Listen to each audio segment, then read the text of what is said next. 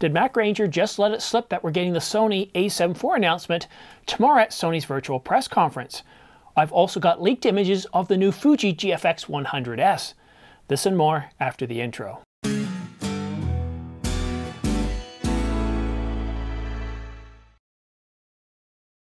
Hi, I'm Simon. Thanks for tuning in to The Ordinary Filmmaker. Subscribe to get notification of new videos like this one so you don't miss any news, rumors, gear reviews, or tutorials.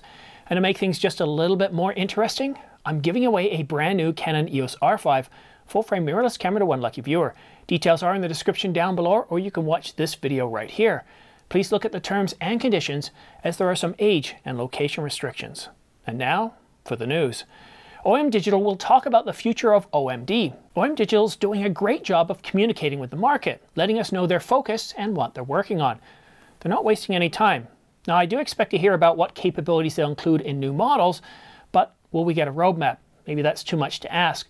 We'll have to wait until February the 25th to find out at CP+. Like Fuji, interested in the GFX 100S? Well, I've got leaked photos of Fuji's new medium format camera, courtesy of FujiRumors.com. It certainly looks like a sharp camera. I've always liked the look of Fuji cameras, with the silver X-T4 being my favorite. The GFX 100S will be announced Wednesday at 8 a.m. Eastern Time. That's January the 27th. Visit Fuji Rumors if you'd like to see some more leaked images of accessories and other parts of the camera. But the big news today could be a slip by Matt Granger. Matt Granger just published a story about why he didn't choose Sony. Spoilers, he's back to Nikon on the Z mount. Now at the three minute mark or so, he praises various Sony cameras including the A7 series. Then he says this, the A7 series now up to the A7 IV. The A7 series now up to the A7 IV. Is that a slip of the tongue? Did he let it slip that we're getting the A7 IV tomorrow? Next he talked about the A9, but he didn't mention the A9 III. He talked about the A9 II. The only mistake he made in the entire video was referring to the A7 IV, an unannounced camera less than a day before we get a major Sony Alpha announcement. Did Matt let it slip that we're getting the Sony a7 IV tomorrow? It's been three years since the a7 III. It's definitely possible. But then again, we waited five years for the a7S III. What do you think? Let me know in the comments section down below. But now, for a quick behind the scenes. In this episode of Behind the Scenes, I want to talk about mistakes because I certainly make my share of them. I do try to enunciate my words as clearly as I can, but sometimes I just get lazy and things slip. I can't reshoot every time I make mistakes. Now, Matt Granger, he, I don't know if he made a mistake or not. It's certainly possible that he could have made a mistake. The video was published just about two hours ago, and he hasn't pulled the video. He hasn't made any changes to it.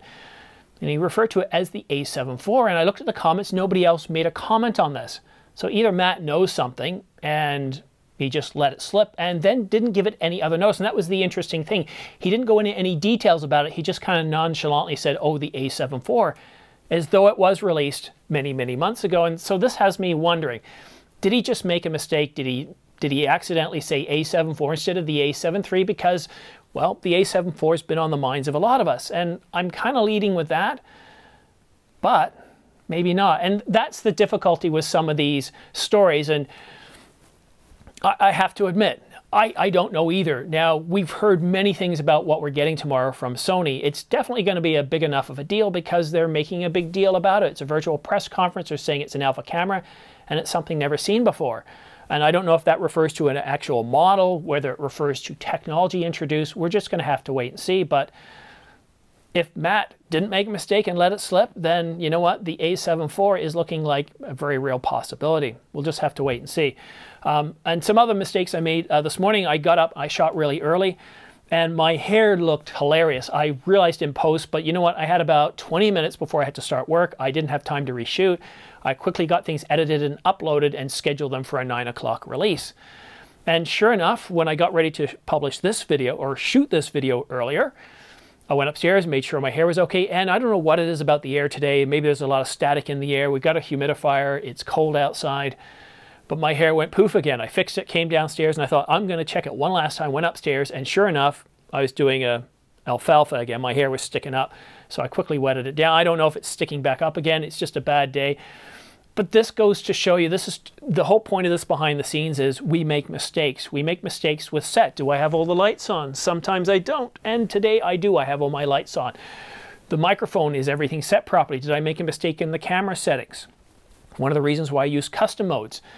And do I enunciate my words clearly enough? I'm trying to make sure I say everything correctly. It's one of the reasons why I use a teleprompter for stuff like this, so I don't accidentally say the wrong thing. But still, what I read and what comes out my mouth isn't always accurate. So perhaps we are getting the A7 IV tomorrow, or maybe Matt just made a slip. We'll just have to wait and find out. I'm going to monitor his site, see if he pulls the video or see if he makes a change or makes a comment. But uh, yeah, interesting enough, isn't it? But that's it for now. Don't forget to subscribe for your chance to win not one, but two Angelbird 128 gigabyte AV Pro MK2 V90 SD cards, along with an Angelbird dual SD card reader. Or you could also win the Ulanzi LED light package with accent lights, underwater lights, and other lights to help illuminate your subjects or for your YouTube channel. I'll be awarding these two prize bundles once the channel reaches 30,000 subscribers, and then of course I'll be offering up a different and more expensive prize every 10,000K until we reach 100,000, at which point I'll be awarding a brand new Canon EOS R5 full-frame mirrorless camera to one lucky viewer. And on that bombshell, thanks so much for watching The Ordinary Filmmaker. We'll see you again soon.